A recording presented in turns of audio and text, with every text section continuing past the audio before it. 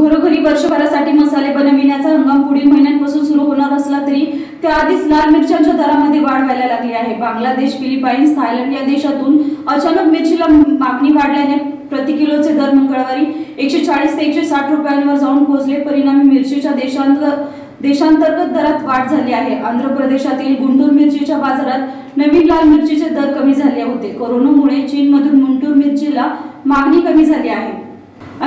देशातील वाढत्या मागणीमुळे लाल मिरचीचे दर वाढले आहेत. तेजा मिरचीचे दरही कमी झाले. मात्र परदेशातील मागणीमुळे तेजा मिरचीच्या दरात टप्प्याटप्प्याने वाढ झाल्याची माहिती the federal of association of traders पदाधिकारी आणि मिरची मिरचीचे मार्केट यार्डातील व्यापारी वालचंद संचेती यांनी सांगितले. आंध्र प्रदेशातील गुंटूर मिरचीच्या बाजारात नवीन लाल मिरचीचे दर कमी झाले होते.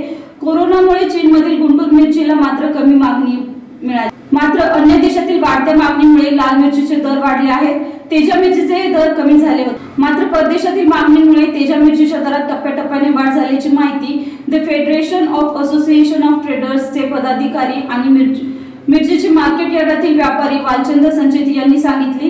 गेल्या हंगामात फेब्रुवारी महिन्यात तेजा मिरचीची विक्री घाऊक बाजारात प्रति किलो पंच्याऐंशी ते अठ्ठ्याऐंशी रुपये या दराने केली जात होती. यंदा या मिरचीचे दर एकशे वीस ते एकशे तीस रुपयांपर्यंत आहेत.